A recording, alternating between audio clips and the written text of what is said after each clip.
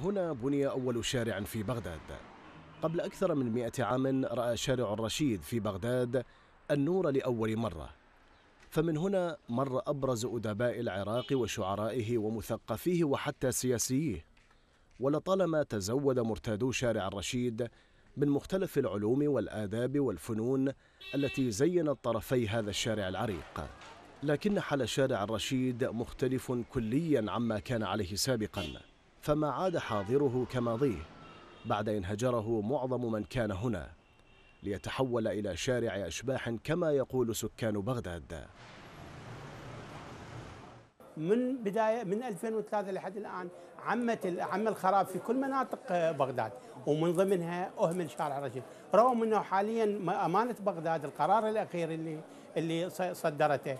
إنه يجب أن تكون كل الإعمار أو كل البنايات عندما تجدد تجدد على الطراز الطراز البغدادي القديم لكن ماكو التزام وحولت أكثر المقاهي الأدبية إلى إلى محلات خاصة بالرياضة أو خاصة بالكماليات أو مسائل أخرى.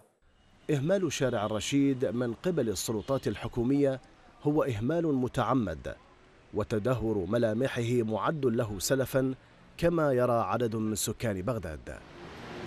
شارع الرشيد من أكثر الشوارع اللي تعرضت إلى إلى إلى آه، الإهمال وإلى آه، مكبات مال النفايات لسبب بسيط أنا حسب ما أعتقد أنه شارع رشيد معلم حضاري ومدني يحاولون يطمسون كل شيء مدني وكل شيء حضاري بالعراق.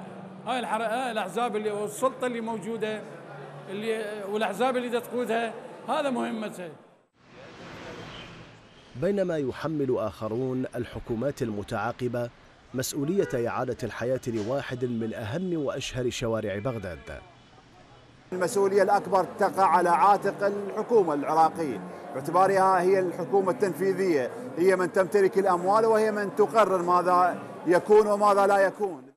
ويطالب رواد شارع الرشيد الجهات الحكومية باتخاذ إجراءات حاسمة لإنقاذ واحد من أكبر المعالم الثقافية والتراثية الشعبية.